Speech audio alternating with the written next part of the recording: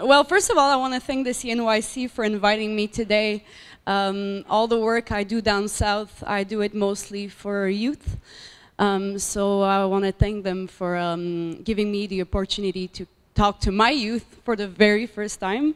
So don't be too hard on me, please. so uh, Miko to this NYC and Alex. Uh, well, I'm going to introduce myself because I know that many of you don't know who I am, and that's very okay. So my name is Maitee Saganash. I'm from Waswanipi, but I live in, um, in uh, Quebec City. Uh, I do conferences for a living. Um, I'm a future law student. I'm starting university um, in August. I'm, now, I'm now writing two books. One of them is on uh, the political situation in, uh, in the province of Quebec, and the other one, I'm doing a part um, in a book about Energy East, uh, the pipelines, on the Aboriginal perspective of it. So yeah, um, usually it's going to be really different from what I do usually.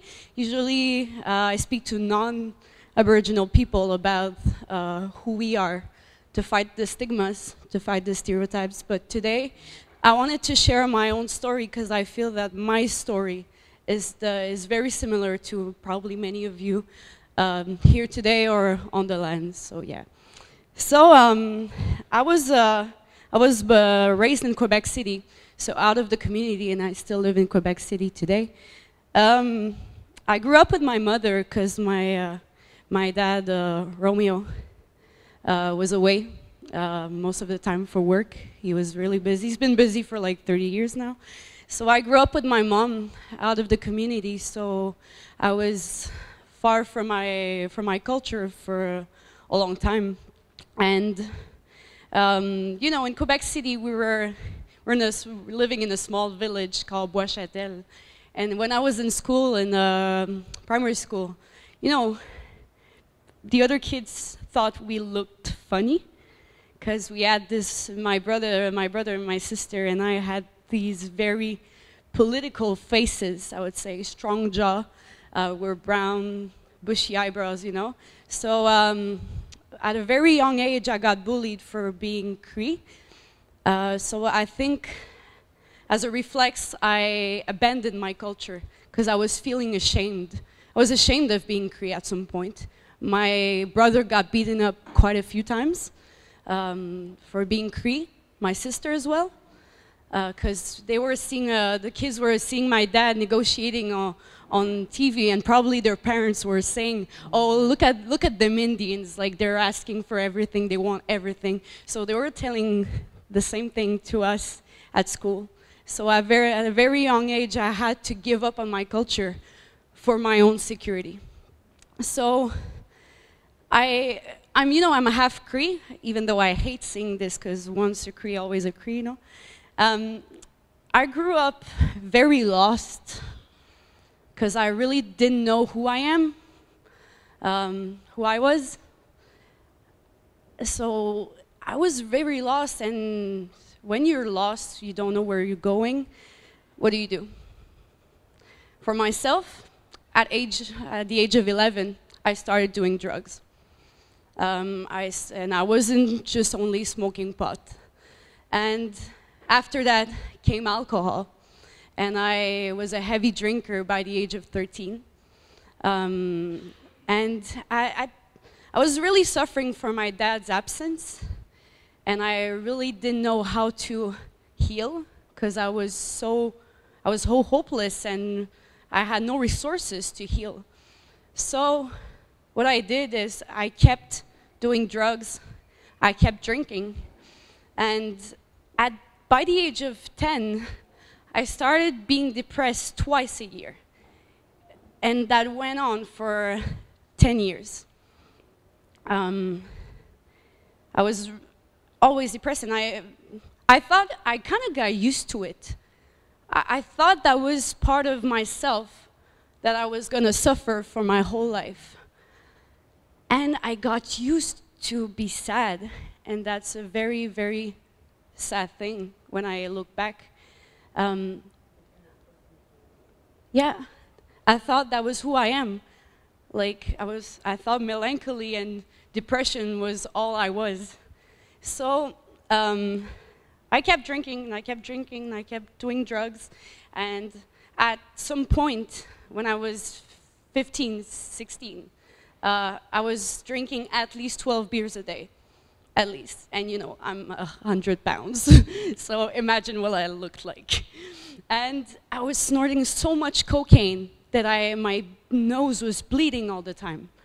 And, um, you know, um, back in September, I was, I, I didn't, I didn't, I wasn't doing drugs at that time, but in September I was, you know, I was drinking the whole summer and I was still drinking. And eventually I was so lost that in September I tried to commit suicide. That's not a very long time ago. So I spent a month in hospital thinking about what was happening to me and where I was going. Because I was a very successful student, even though I was drinking.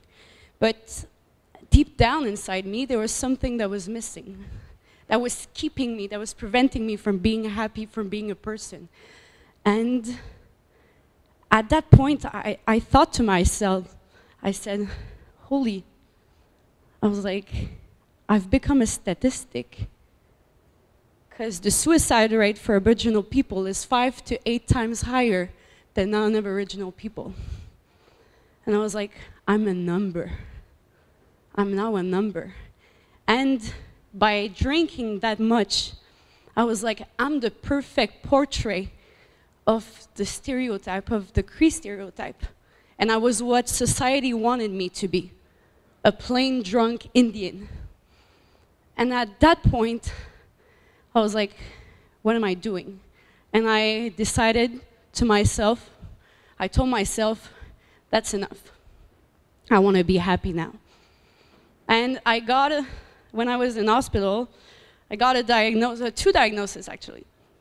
Um, so the, the psychiatrist sat me in her office and she said, you know why you're, you're depressed twice a year?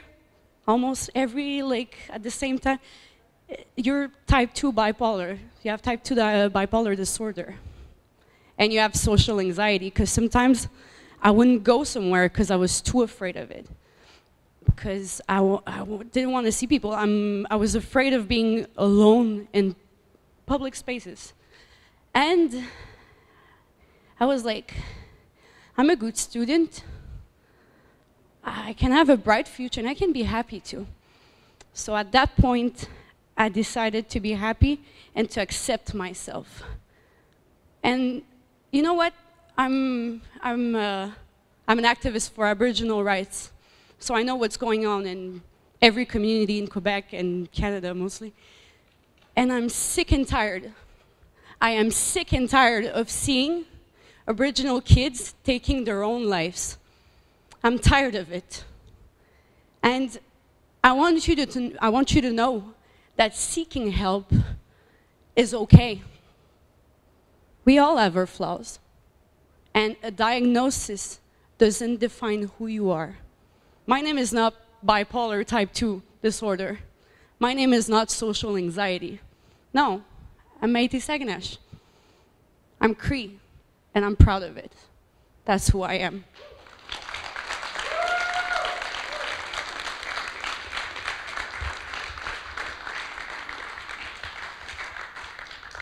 And by accepting who you are, from that point, you can work on yourself.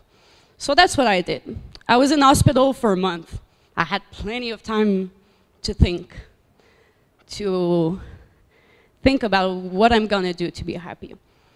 So I, and I started to accept that I was Cree more and more. And I, when I was in hospital, I, I was thinking about uh, my childhood when I was spending three months in the bush in the middle of nowhere in the Broadback Valley. I used to, th to think about northern lights, all the animals, about me fishing every day and catching like these big trouts but releasing them in the water. And from that point I was like, wow, I miss my land much more than I thought I was. And I started reconnecting with my culture, and it's really, really hard in Quebec City because there's, I think I'm like, my siblings and I are probably the first, the, the, the only Crees there. there's a lot in Montreal, but in Quebec City, there's mostly new people and um, Wendat people. So it's, it was really hard, but I found some way uh, to reconnect with my culture. And uh, Matthew's son really helped me finding a way. And I opened my heart and I really found salvation through my own culture.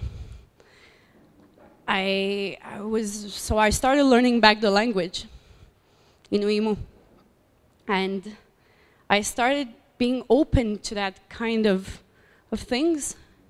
So I started having these beautiful dreams about animals, about all kinds of stuff. I don't know, I still don't know what they mean, but I will find out eventually. And I started having this dream uh, three months ago. So in my dream, I'm on a boat, and the, the water is really calm, no waves. But um, something is pushing my boat. There's no motor, but I'm, I'm on the boat, and I'm going towards the island where Numshum is buried. And I started waking up in the morning happy, feeling insecurity. Sorry. Because I realized that for so many years, by abusing alcohol, by taking substances, I was pushing back my ancestors and all these good spirits and energy, I was pushing them back. And by accepting, finally accepting who I am, they were back and I, I was waking up in the morning feeling insecurity. And I told my, I told my dad, and he sent me a smiley face. He's like, Maitee, they're, they're always going to be there. It's a sign it, they're telling you that they're always going to be there protecting you. So from that point, I started being really interested in my culture.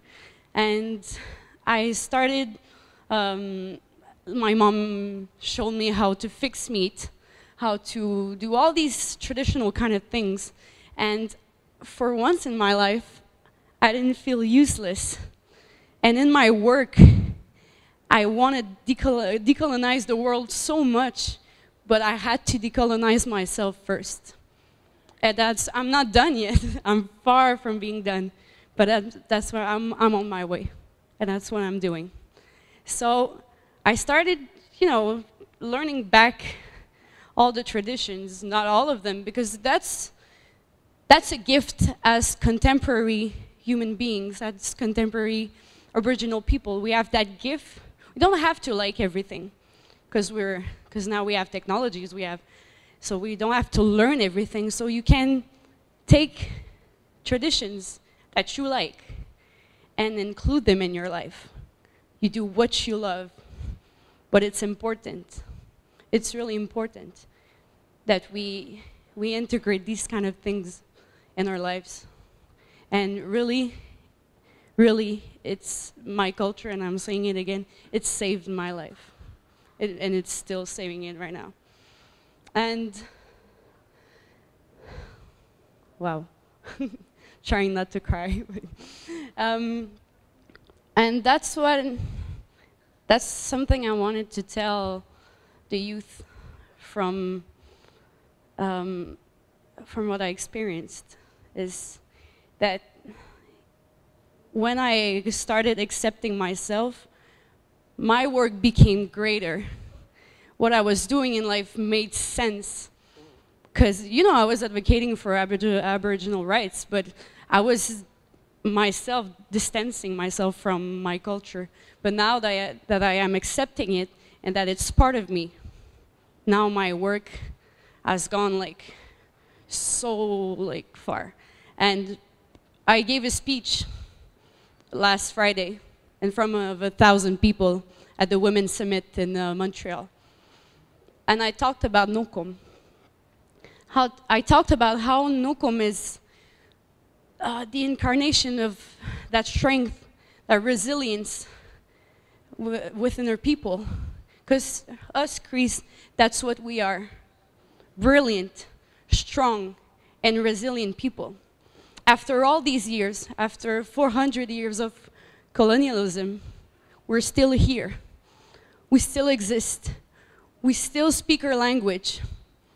And still 30% of the Crees live um, of traditional way of life. And do not think, do not take everything you have for granted. Because I would give so much, so much to go back to Waswanipi, to be with Nokom, to take her to the bush, to speak my language, this amazing, this most beautiful language that is Inuimu. And I hear so many, so many young individuals in the community saying, "Oh God, I have to, I have to reconnect with my with my culture." It's at the tip of your fingers. Seize that opportunity. It's really important. And what I learned, what I learned from from this whole healing process is that identity is not a number. It's not defined by a number. I used to think because when I was when I was in higher in uh, in primary school, kids would tell me you're half breed. You're not even Cree, you're not even white, you're half breed. So I thought to myself by healing, I was like, no, my identity is not defined by a number. I'm Cree, and that's who I am. Eeyou Istchee is where I belong, and that's what I choose to be. And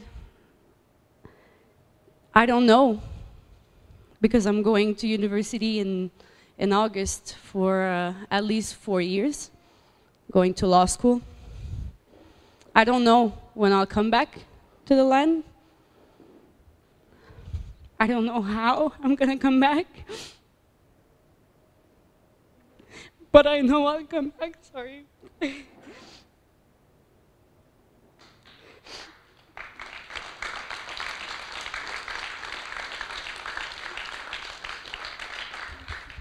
I know I'll come back because for once in my life, I feel like I belong some, somewhere. And that's the most important thing in life. Find yourself. Find yourself. Find what you love. Find what you want to be. And achieve your goals, achieve your dreams. And it's not because you're Cree that you're not smart as any other people. And we have that gift of being so strong and seeing life in a different way or environment and being so connected with, with our environment. We have that gift that the, the non-Aboriginal people don't have. Be proud of who you are. Be bold, be loud, and be proud. Really, be proud of who you are. Thank you.